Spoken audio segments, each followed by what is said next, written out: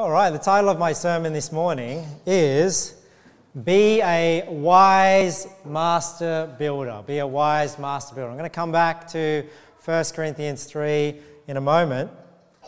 But where I want to start this sermon today, so talking about being a wise master builder, as opposed to what?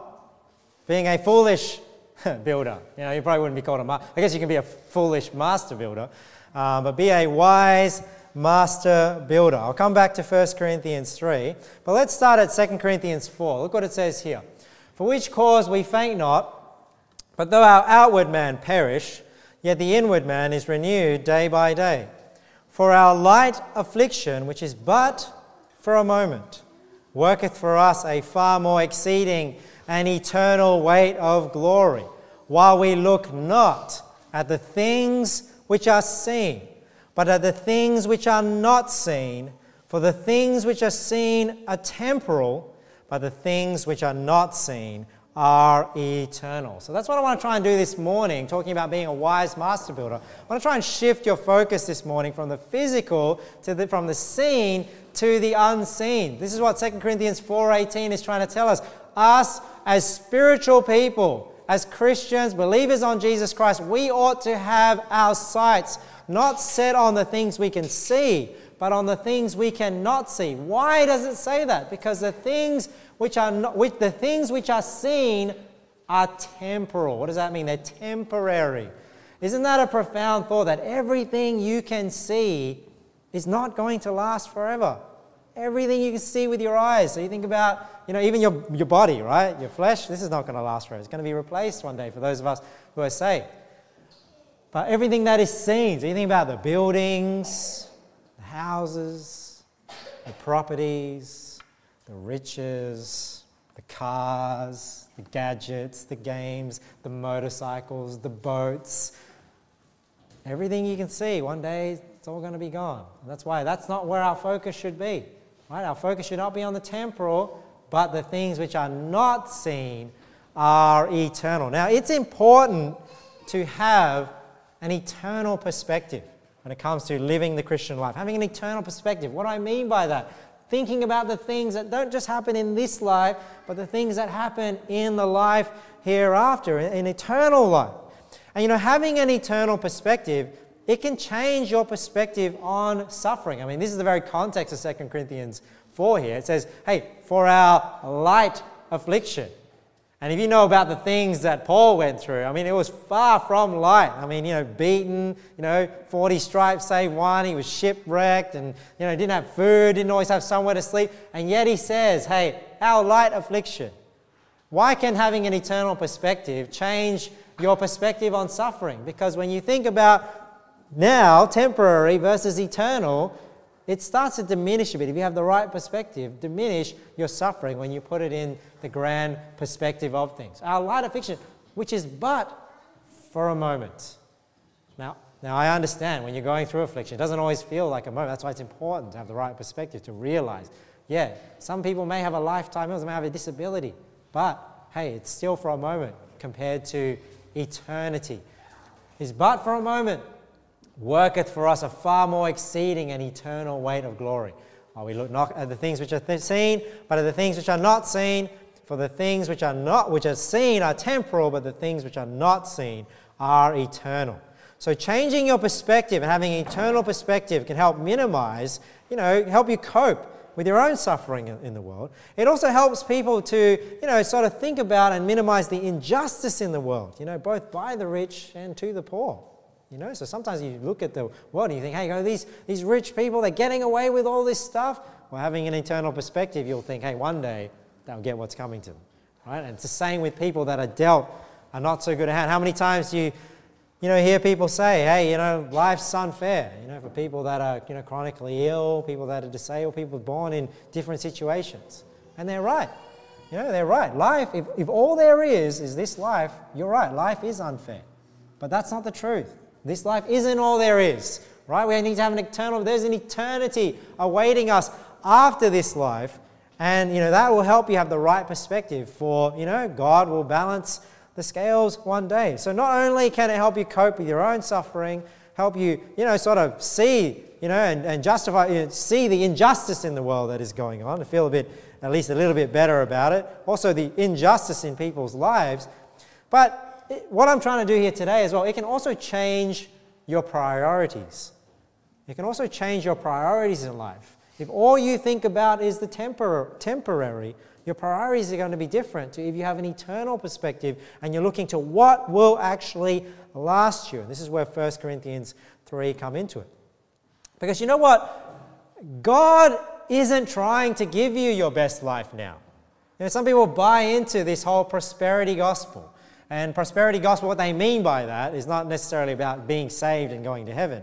What they mean by that is, you know, if you're a Christian and you're obeying God and you're in church, you're a saved person, hey, you're, you're meant to be healthy, wealthy, and wise, and God's going to give you everything you need, and you're never going to suffer anymore. And, you know, you have a great marriage and great kids, and everything's going to be fine, die in an old age, perfect health. This is a lie. This doesn't happen. If you just, you just have to look, you just have to read the book of Acts. We're going through the book of Acts with the children in kids club. You just have to read the book of Acts and you see, you know, the jailbreaks, the suffering. I mean, Paul seeing here our light affliction. I mean, did he have his best life now? They're all looking for their best life later. So there's no best life now. God is not trying to give you your best life now. And sometimes people get stumbled at Christianity. How many times have you spoken to somebody and you know they're a bit burnt with God or they're a bit you know upset at things and, and why? Because they can't understand why God is allowing them to go through these things. They can't understand why a loving God is allowing all this suffering in the world. It's, it's something that people have, so many people have a wrong perspective of, and it can change what they think about God. So God isn't trying to give us our best life now. He allows suffering in this world. One is because it you know, makes us better. That's the main purpose. The main purpose is not only does it punish the wicked, it also punishes people that are doing wrong and chastises his children. But also, when we go through suffering, it, it improves us, builds character, builds some resilience. But you know, one thing it also does is it makes you look at the unseen. Because when you start realizing all the problems with the seen, you don't desire the seen anymore. You start desiring the unseen. And that's one of the goals, I think, that God allows us. You know, suffering reminds us that this world is not perfect. This world is not our eternal home. So we don't start to desire to just be comfortable and live in something that is temporary. We start to think about, hey, what can we prepare for in, in, the, in, in eternity, in our eternal home? So it's got to change your priorities, it's going to change your perspective.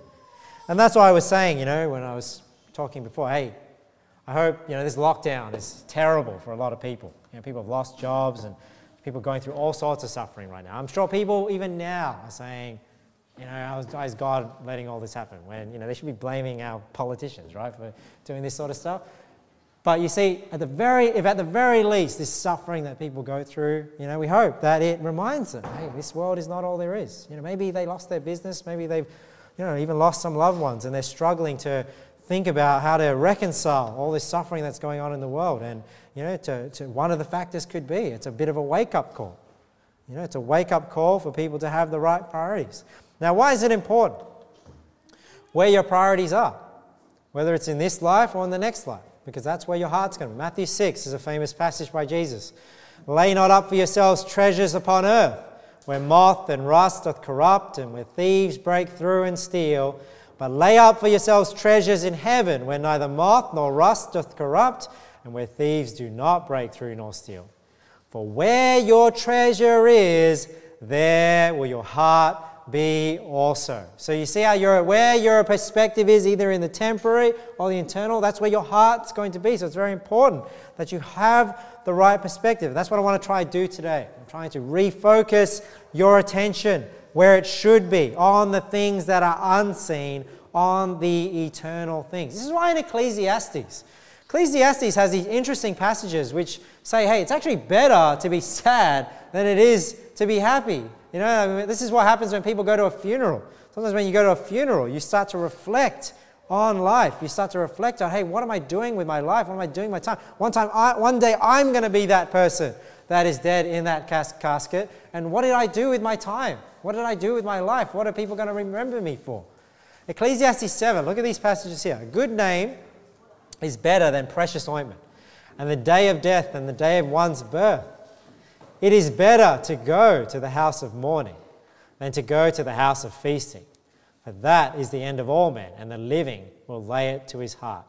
So this is why sometimes you have to believe the Bible by, by faith, because this is so counterintuitive to what most people in the world would think. To say, hey, isn't it better to celebrate and to forget about our sorrows and to not think about death and that? And the Bible's actually saying, hey, it's better for you to actually go to the house of mourning than to go to the house of feasting. Why? For that, what? That, death, is the end of all men.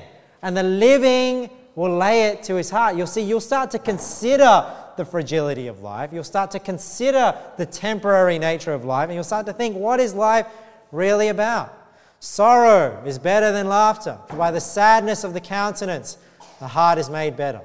The heart of the wise is in the house of mourning, but the heart of fools is in the house of mirth. we're going to see that in this sermon, you know, the difference between being wise and being foolish. We're talking about being a wise master builder. Let's get into 1 Corinthians 3.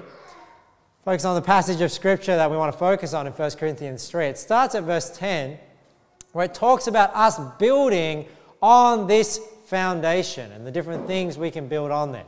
According to the grace of God, which is given unto me as a wise master builder, I have laid the foundation, and another buildeth thereon. But let every man take heed how he buildeth thereupon. So he's saying, hey, take care. When you're saved, you get this foundation, Jesus Christ. And when it comes to the Corinthians, Paul is saying, hey, he's laid that foundation. Why? Because he preached the gospel to them. He says, he said to them, you know, I've uh, determined not to know anything among you save Jesus Christ and him crucified. So when he went there, he went to preach them the gospel, he helped them lay that foundation. But now he's saying, hey, let every man take heed, pay attention, right? How he buildeth thereupon. So this shows that there is a good way to build on that foundation, and there's, and there's a bad way. There's a foolish way, and there's a wise way. For other foundation can no man lay than that is laid, which is Jesus Christ. We're saying, hey, obviously that foundation which we lay on this spiritual house, right, is Jesus Christ is that foundation. Now, if any man build upon this foundation gold, silver, precious stones, wood, hay, and stubble. So, we're given a few examples of things you can use to build upon this foundation. You have gold, silver, precious stones, wood, hay, and stubble. Verse 13 Every man's work shall be made manifest, for the day shall declare it. Right? So, verse 13 is saying, hey, your work is going to be made known because the day shall declare it. It's going to be tried by fire, because it shall be revealed by fire. And the fire shall try every man's work of what sort it is. I'll just pause there for a moment because a lot of people will use 1 Corinthians 3, especially those from you know, a Catholic background. They'll go to 1 Corinthians 3 to try and teach that there is such a thing as purgatory. So, purgatory, if you don't know what that purgatory is like this middle ground between heaven and hell. That if you're not bad enough to go to hell, you, but you're not good enough to go to heaven, then you go to purgatory where you'll like be burned and you know purged of your sins. And once you're purged of your sins, then you'll you'll go to heaven. They use this passage trying to teach that this is purgatory. It's teaching here that, you know, see, you're going to go through this fire and, you know, you're going to be purged before you go to heaven. But notice what is being revealed by fire. What is actually being burned here? Is it the, is it the builder that is getting burned? No, no, it's actually the work that is getting burned. So this is not describing purgatory. This is describing somebody's works in their life. You know, once, you know, if you have the foundation, and we'll talk about that in a moment, you need the foundation first. What it's talking about is you're building on this foundation, and then your work is going to be tried. It's going to be real, and the fire shall try every man's work. You see here of what sort it is. So it's not trying the person, it's not burning the man, it's burning his work. If any man's work abide, which he hath built thereupon, he shall receive a reward. If any man's work shall be burned, he shall suffer loss, but he himself shall be saved, yet so as by fire. So notice it's trying his work, right? So it's not burning off his sins. You say, well, in those works, like his sins. Well, no, because you can, nobody's trying to sin their way to heaven. You know what I mean? Like no, nobody thinks, I'm just going to, trying to get, work my way to heaven. I'm just going to sin as much as I can, and hopefully I get to heaven, right? So this is like people trying to do good. But we have good things that are wise and good things that are foolish in terms of building on this spiritual foundation. Now, notice here at the end, verse 15 if any man's work shall be burned.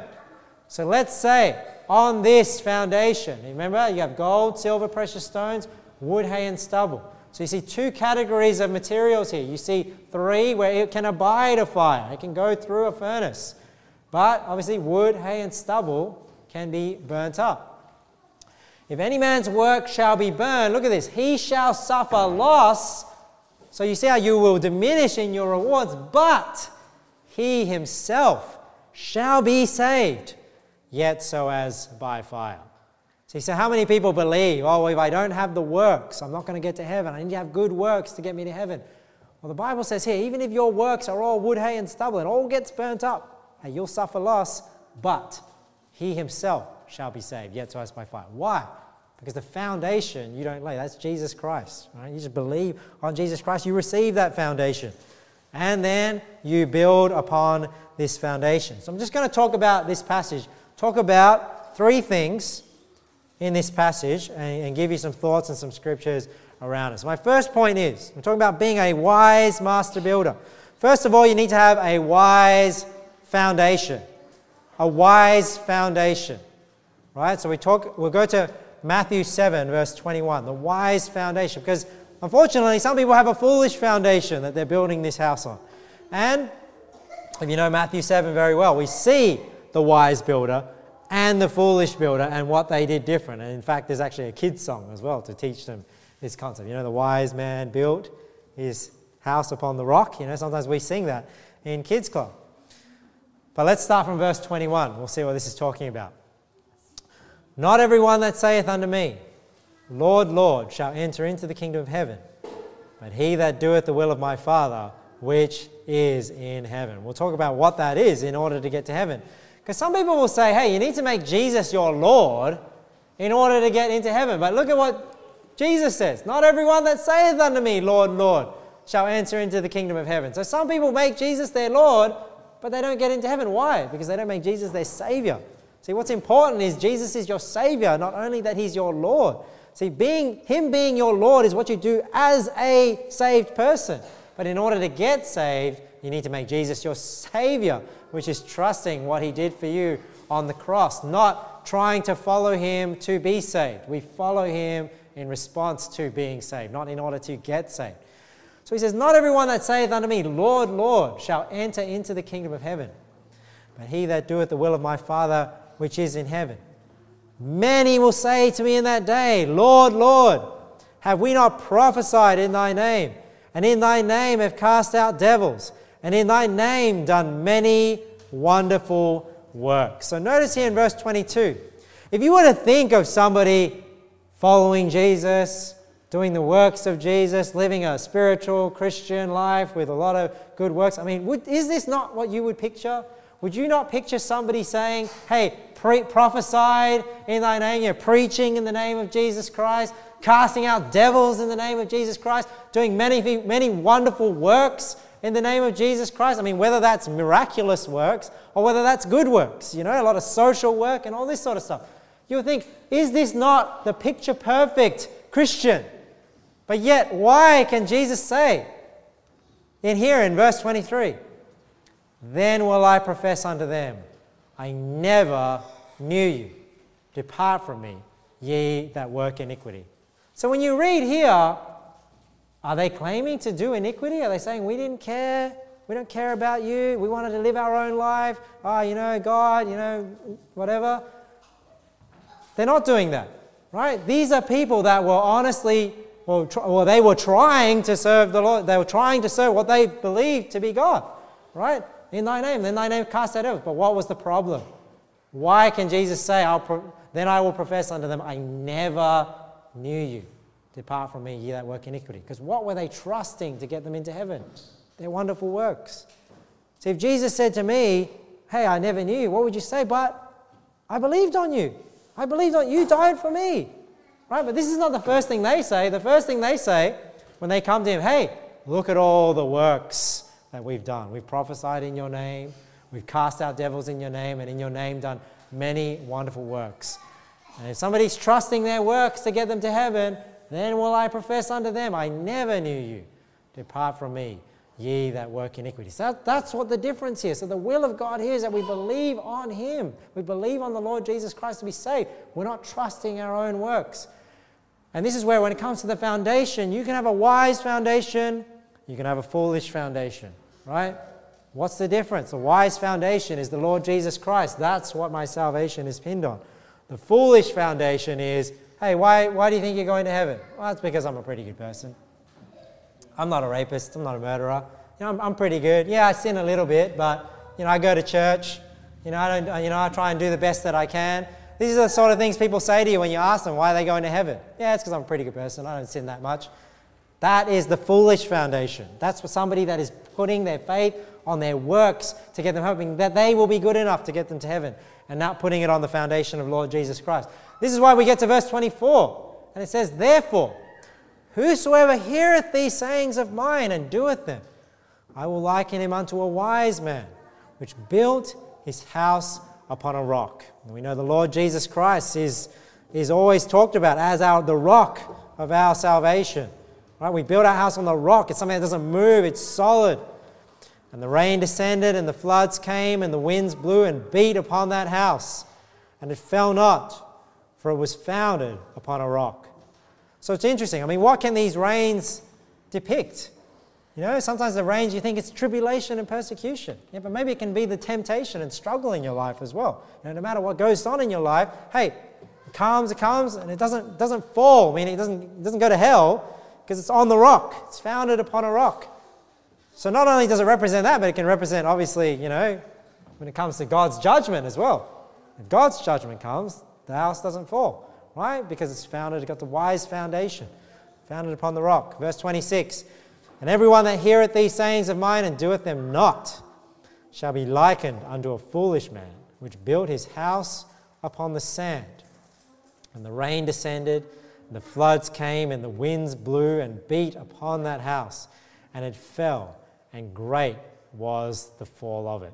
So you see here a house that is built on like the shifting opinions of man one day I'm doing good, one day I'm doing bad, and sometimes I'm good, sometimes I'm bad. You know, this is the foolish foundation. And it came to pass when Jesus had ended these sayings, the people were astonished at his doctrine, for he taught them as one having authority and not as the scribes.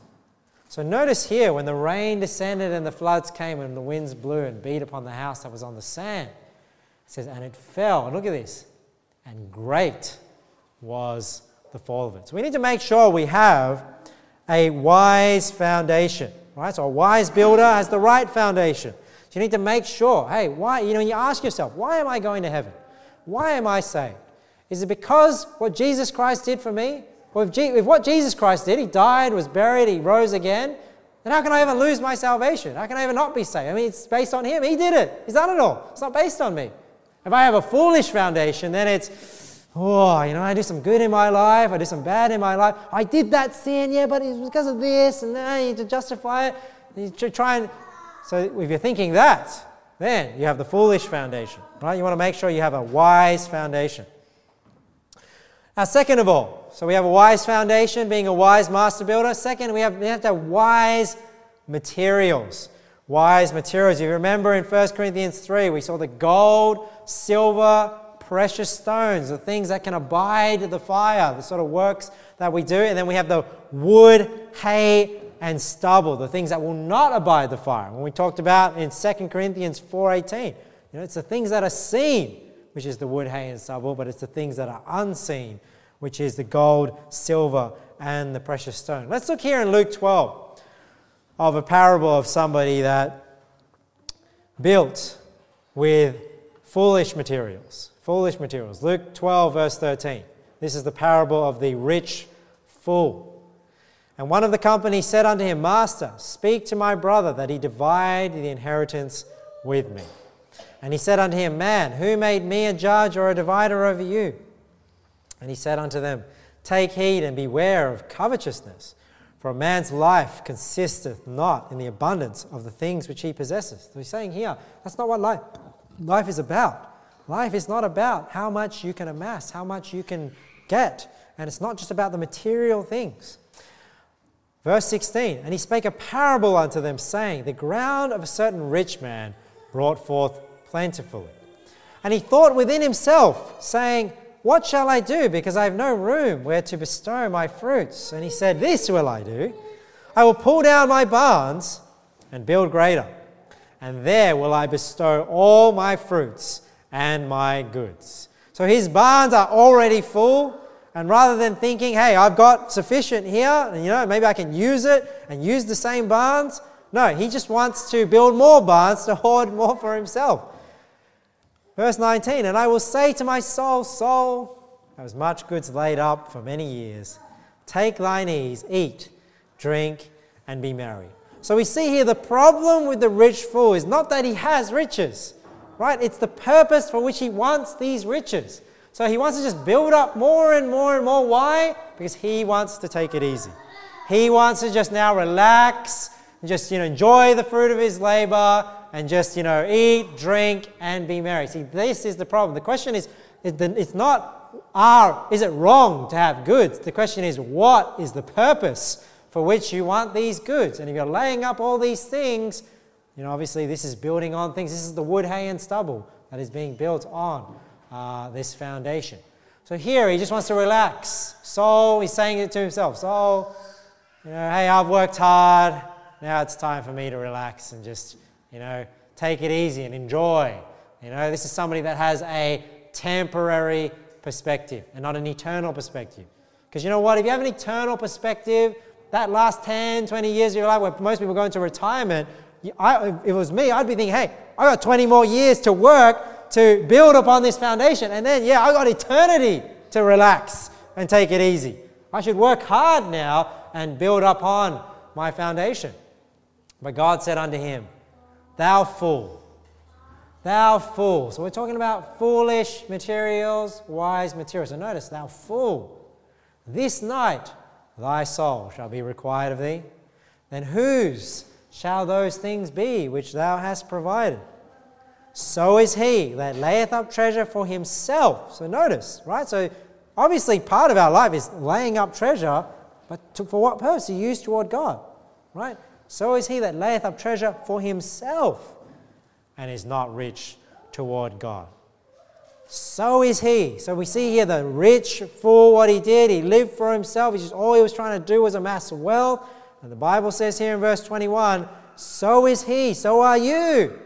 If you lay up treasure for yourself and you are not rich toward God. So we don't want to build on our foundation these with these foolish materials, right? You don't want your life just to be about, you know, some people just dedicate their life to, you know, they just have this dream of owning this business one day, and that's and then their life is just about that. And then to what end? Right? Once you die, who are you going to leave it to? So is it wrong to build a business and do that? But to what end? right? If the business is an end in and of itself, you got the wrong materials, right? Or some people, you know, they just work, they work their, you know, their, their fingers to the bone and they just like, you know, blood, sweat, and tears just so they can buy this little property in Sydney, you know, with the inflated prices. You're spending millions of dollars to buy this property. And then now they can call this little piece of land their home. And you know, one day you're going to be looking down from heaven and you're going to see it all go gone. You know, blood, all that blood, sweat, and tears. So, what, what, what are you going to spend your life doing? Right? What are you going to aim towards? Now, you know, some people have the ability and the efficiency to be able to do that because I'm not saying it's wrong to own a house. Don't get me wrong. Right? I'm talking about the purpose for which you live. Some people, they make it their life goal. It's all they're about. It's all they think of. It's all they live for. And then when they think they've arrived, they're like the rich fool. Ah, man, just take it easy. This is the problem. Now, what does the gold, silver, and precious stones represent in 1 Corinthians 3 as we build on this foundation? Know, sometimes I ask people when we go out soul winning, if somebody gets saved or we're talking to somebody that's saved, we're trying to encourage them to serve the Lord. We'll ask them the question well, what are the only things you can take to heaven with you? You think about when you're in heaven, what are the things from this life, when you get to heaven, you're going to be able to take with you? Say, well, I can't take my boat, can't take my yacht, can't take my, you know, car, can't take my motorcycle, can't take my PlayStation, Can't take, you know, all these things. You, you know, ladies can't take your shoe collection. Ah, take your makeup. I don't know, your jewelry. You know, your fancy clothes, your LV handbag. Can't take those things to heaven. What can you take to heaven? I say it was two things. One is you take yourself. Right? Make sure you take yourself. Believe on the Lord Jesus Christ. What's the only other thing that you can take from this life into heaven with you? It's other people. It's the only other thing. Now, if you think about that and you eternal, you know, you internalize that, you think about having an eternal perspective. Man, when, when I die, I leave this world, and I look on my foundation, what is going to be there? So, what is this gold, silver, and precious stones? It's the work you do for God to get people to heaven. That's what's building. That's what's uh, that's part of your gold, silver, and precious stones. We all play a different part in how we win people to the Lord, but that's what it is. It's people. You know, what else could it be if it's not bringing more people to the new heaven and the new earth? So you think about how you're building on this foundation. The question is, what impact or what uh, contribution do I have to God's work that is adding people to the kingdom of God. And that's why this is what the church is about. This is what Christianity is about. It's the purpose of your life as a believer. It's the Great Commission. Right? We preach the gospel. Gospel. We baptize believers. And we're teaching people to do the same.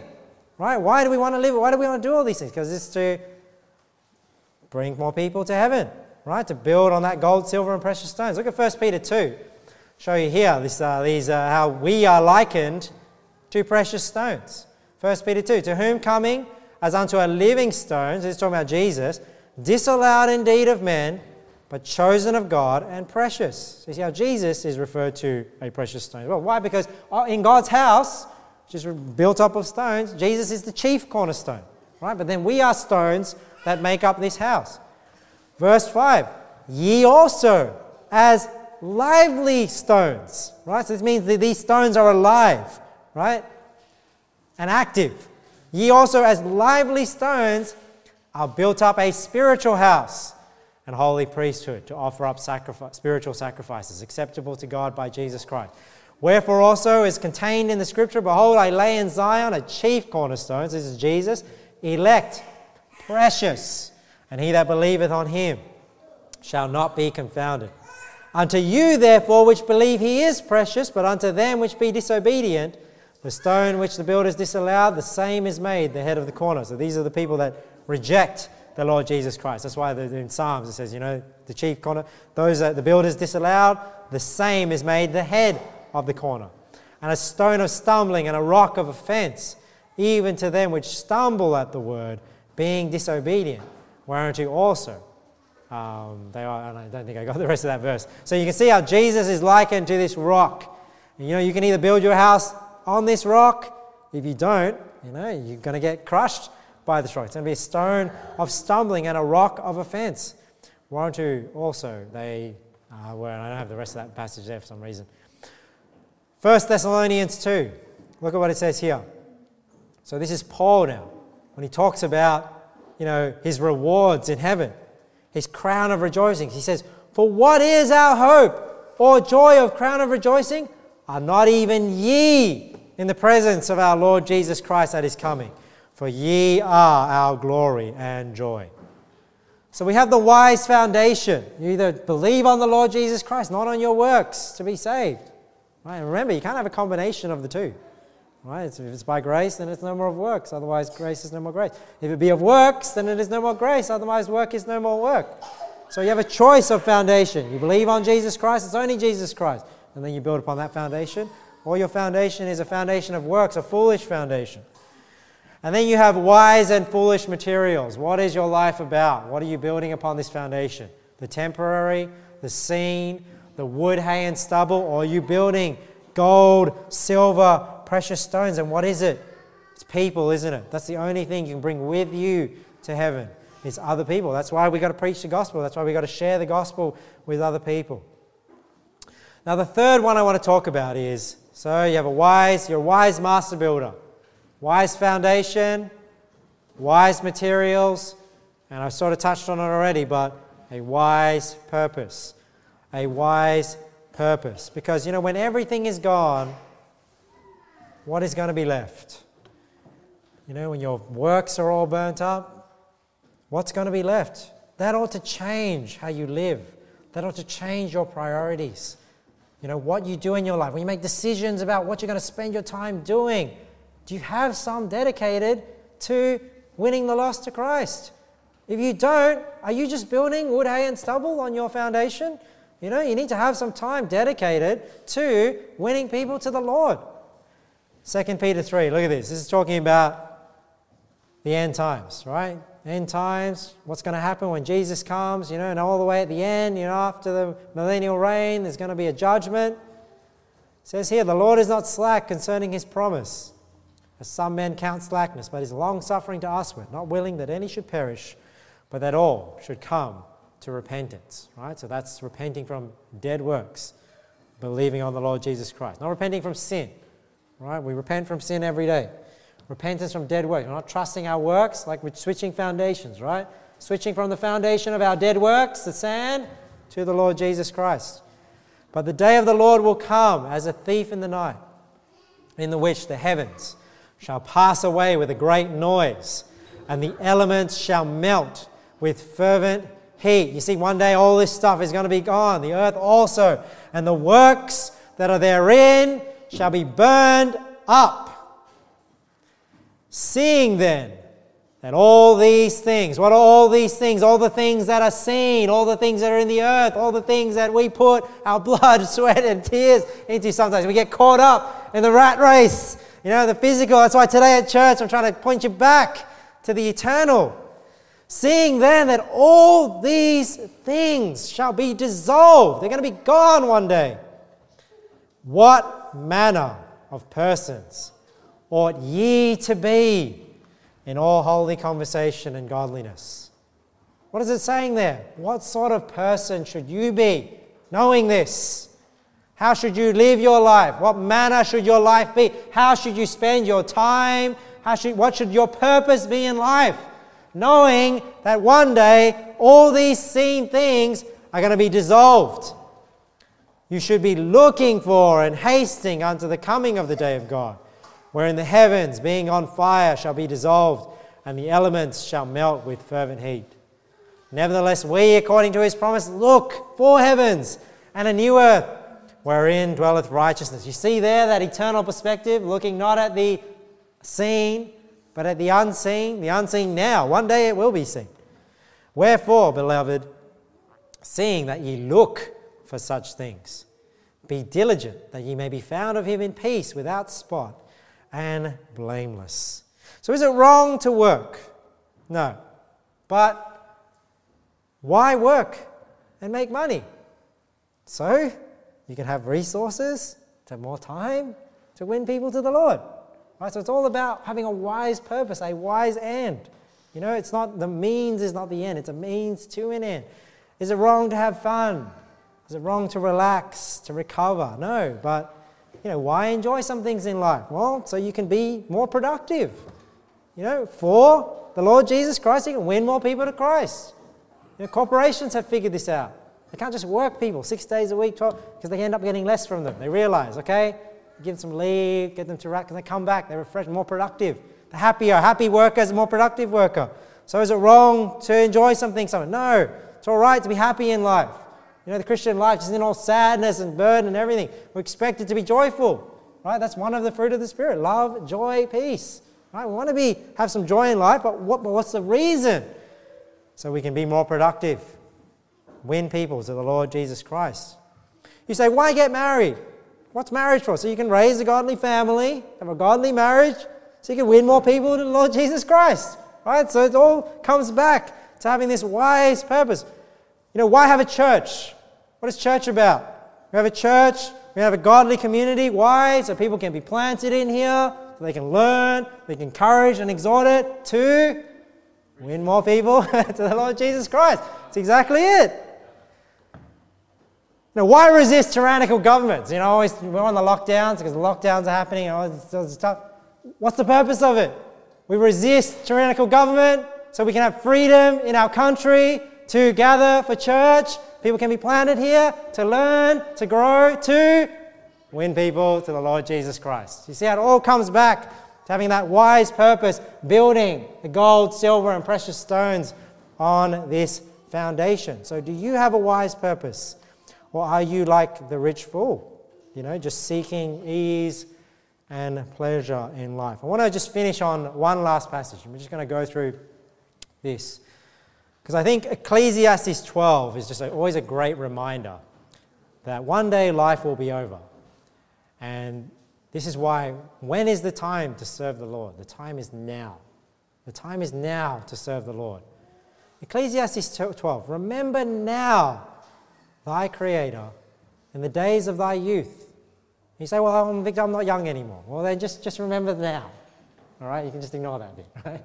Remember now thy Creator in the days of thy youth.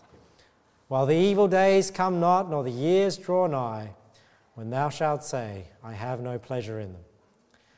And then we have this beautiful analogy here of, you know, somebody getting old.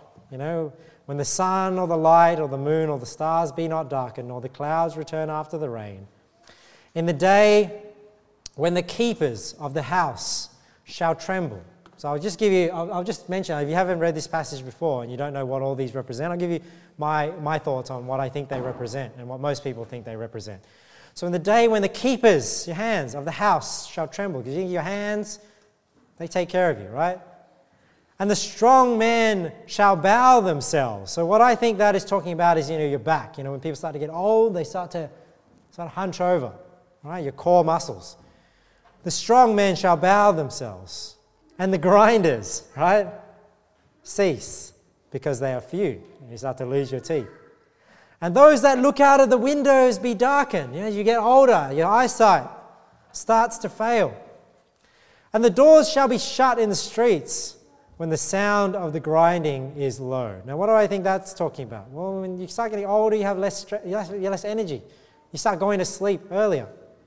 And he shall rise up at the voice of the bird, and all the daughters of music shall be brought low. So, not only here it's saying, you know, you, you know, the elderly tend to go to sleep earlier, they tend to wake up very early because they struggle to also sleep as well sometimes. And all the daughters of music shall be brought low. They start to have hearing problems.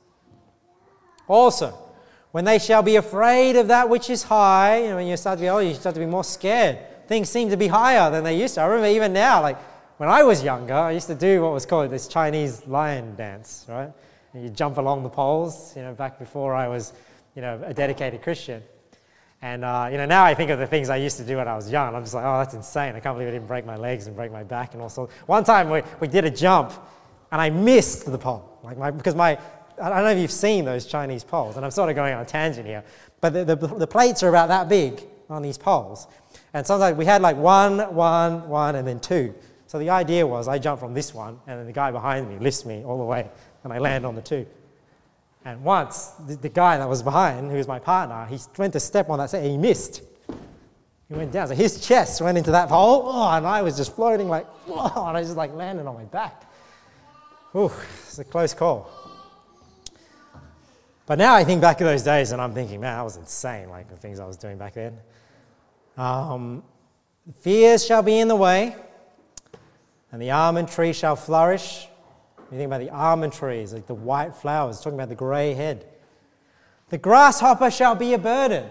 Now, what I think this grasshopper is talking about, I was reading a bit about getting, getting some opinions. They're saying well, you, you, don't have as much flexibility anymore. I'm sure, I'm sure Pat can, can, uh, can relate here. You know, like grasshopper, you think of grow lively or jumping around, and when you get to get all things start to stiffen up. And that's what the grasshopper is being. Start to be a burden. You know, to move around, start, it's difficult now. Desire shall fail, right? So not only, you know, sexual desire, hunger, a lot of things start to go away because man goeth to his long home. This is talking about eternity, his long home, and the mourners go about the streets. So this is now painting that picture of somebody going, dying. Verse 6 Or ever the silver cord be loosed. A lot of people think that is the uh, spinal cord or the golden bowl be broken. This is when your brain, you know, you think about the cranium holding your brain. or the pitcher be broken at the fountain, or the wheel broken at the cistern. If you're wondering what this I always thought maybe this was talking about going to the toilet. But some people uh, think that is referring to the heart, the heart having two chambers, right? So broken at the fountain, the wheel broken at the cistern. Then shall the dust return to the earth as it was, and the spirit shall return unto God who gave it.